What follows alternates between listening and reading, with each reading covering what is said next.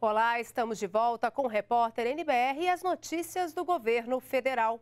Os cinco municípios vencedores do Prêmio Progredir foram reconhecidos pelo Ministério do Desenvolvimento Social na noite desta quinta-feira. O repórter Ney Pereira tem mais informações. É com você, Ney.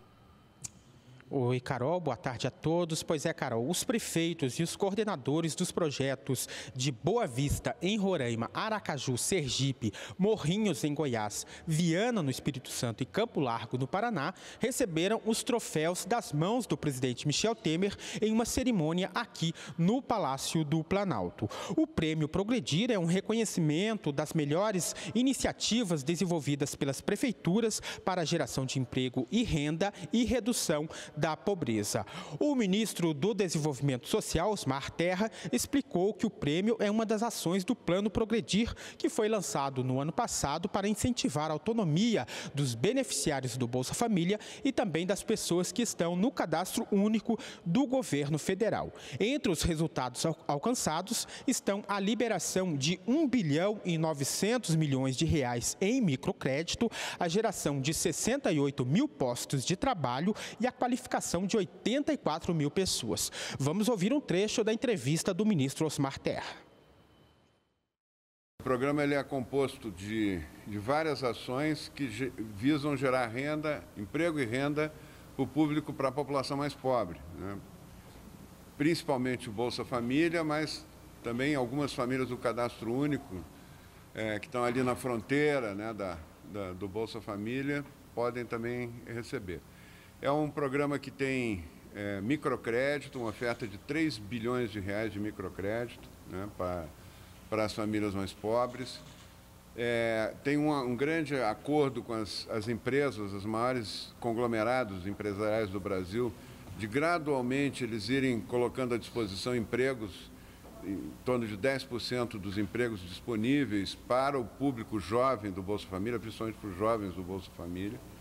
É, há um, um, um viés também de garantir que as famílias, mesmo assinando carteira, elas continuem recebendo Bolsa Família por dois anos, para não ficar com medo de perder o Bolsa Família. E o prêmio Progredir é, é o prêmio de, que mostra quais os municípios estão com melhores é, iniciativas, né? as iniciativas que mais prometem em termos de geração de emprego e renda né, no país. Bem, e quem está em busca de ajuda para se tornar empreendedor ou procura vagas de cursos profissionalizantes e quer mais informações sobre o, o projeto, pode acessar a página do programa na internet no endereço que está aí na sua tela. Volto com você, Carol. Muito obrigada pelas informações, Ney. E mais de 300 imóveis do programa Minha Casa Minha Vida foram entregues hoje pela manhã no bairro de Santa Cruz, na zona oeste do Rio de Janeiro. As unidades são destinadas a quem tem renda familiar mensal de até R$ 1.800. A prestação dos imóveis vai de R$ 80 a 270 reais, de acordo com a renda bruta mensal da família. E durante a solenidade, o ministro das Cidades, Alexandre Baldi, ressaltou o compromisso do governo federal com os impostos pagos por cada brasileiro e com a necessidade de entregar moradias para milhares de famílias que necessitam. Só para este ano são mais de 73 bilhões de reais para moradia em todo o Brasil, para novas contratações, para que a gente consiga, assim, ajustando a máquina, conseguindo corrigir os problemas, mas que não falte dinheiro. Porque a Constrular está aqui sabe que muitas empresas quebraram, faliram por irresponsabilidades, por falta de comprometimento com o imposto que todos nós pagamos e, enfim, não conseguimos entregar obras em tempo que era devido. Atrasos de um, de dois, de três, até de dez anos para entregar uma moradia para as famílias.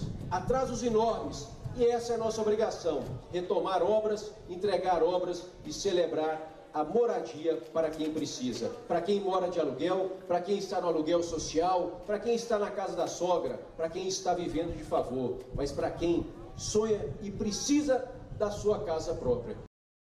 E terminam hoje as inscrições para o concurso internacional de redação de cartas. A iniciativa é realizada pelos Correios e coordenada pela União Postal Universal. Podem participar alunos de centros de ensino da rede pública e privada. Dessa vez, o tema é Imagine que você é uma carta e que viaja no tempo. Que mensagem você quer deixar para os seus leitores? Todas as informações sobre o concurso estão disponíveis no site dos Correios. E nós ficamos por aqui. Você pode rever as reportagens no YouTube e toda a nossa programação também está na página da NBR na internet.